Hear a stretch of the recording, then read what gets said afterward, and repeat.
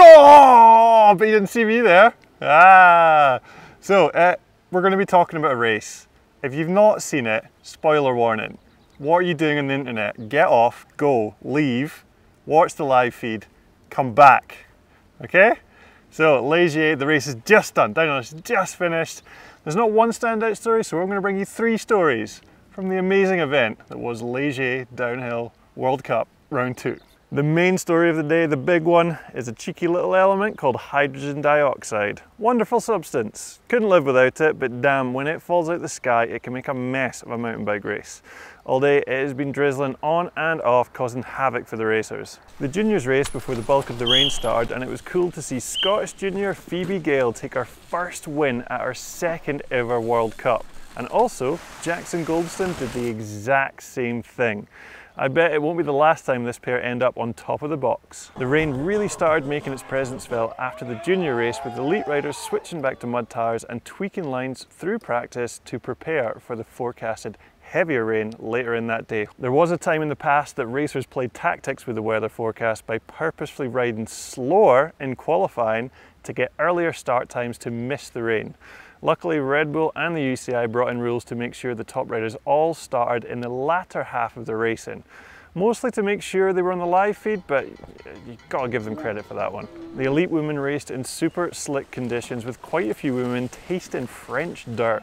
Camille Balanche, Vali Höll and Myriam Nicole all coped it in the greasy conditions, but it was Tahnée Seagrave that found the balance of speed and safety to take the win. In elite men, it wasn't until Brook Macdonald set off on his race run that the heavens really opened and the track started to deteriorate.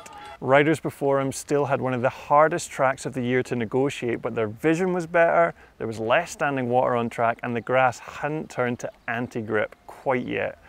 Do not for a second think that meant Baptiste Pierron, Max Hartenstern and Thibaut Daprela had an easy time of it. Riders around them were still crashing and struggling to get down the hill and these guys rode amazingly to claim the top three steps of the podium. All the more impressive in Daprela's case with two black eyes and a tongue held together with string. The riders that really impressed in the heavy rain were Bernard Kerr, Loris Vergier, Benoit Coulanges and Reece Wilson go back and watch their runs because holy crap, the level of skill, confidence, finesse and style on display is breathtaking. 99% of people in the world would not be able to get down that track, let alone do what they managed. Fair play to them. Obviously, Reece Wilson did a thing. Doubt you would have missed it. I'm not going to hazard a guess on what happened exactly, so we'll just get it from the horse's mouth. Going up there and the rain was coming in heavier, and there was a lot of people talking about what they were and weren't going to do.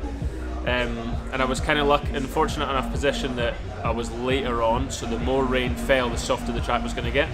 So I thought if I leave the start and the grounds, the water's kind of getting through into the dirt and it's soft, this could actually be possible. And then yeah, by the end of the first split, I was like, this is definitely possible.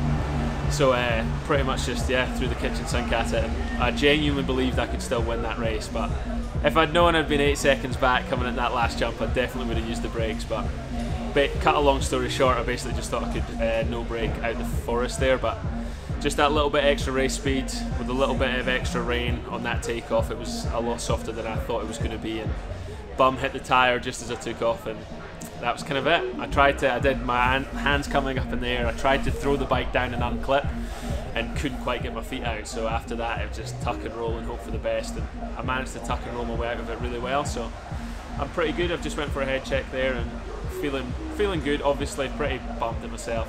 Trying not to regret it, but it's hard to regret things like that. A small drag of the brakes and I would have been fine, but yeah, no regrets. It is what it is. The final story we'll finish on is a bit more positive. The crowds have returned to the hills of the World Cups which as a racer is just the best thing ever. What's it like to have the fans here? Whoa, it's crazy. It's nice to hear some shouts and some screams. It's really cool. Well, it's going to be great because it means they will scream at me when I'm going past, which means I'll think that I'm really lighting up sections, even when I'm not. So it's great it gets pretty exciting when you got people yelling and kind of gets you like I don't know more more hyped and more uh, for me trying to get out of the section quicker because there's so many people yelling at you but um, yeah, it's awesome to have people just around and watching and getting back to a somewhat normal. Love it, mate. No one likes a race like the French like a mountain bike race, so I think it's going to be unreal today. Stoked to have some noise back. The roar of the crowd and the energy you draw from them elevates your riding and the event to new levels. Things felt a little hollow without them and it's great that they're back. My eardrums, however, aren't so sure it's a good thing because those French fans are seriously loud. Hopefully this is now the norm for the rest of the year. That's it from Pinkbike out here in Les Gets. Hope you enjoyed. Join us in Maribor for the Maribor for the next one. Until then, get on your bike, have fun.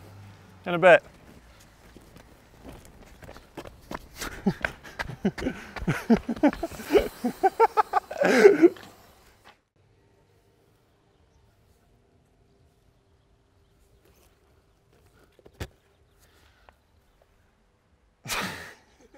oh, there's a there's a person.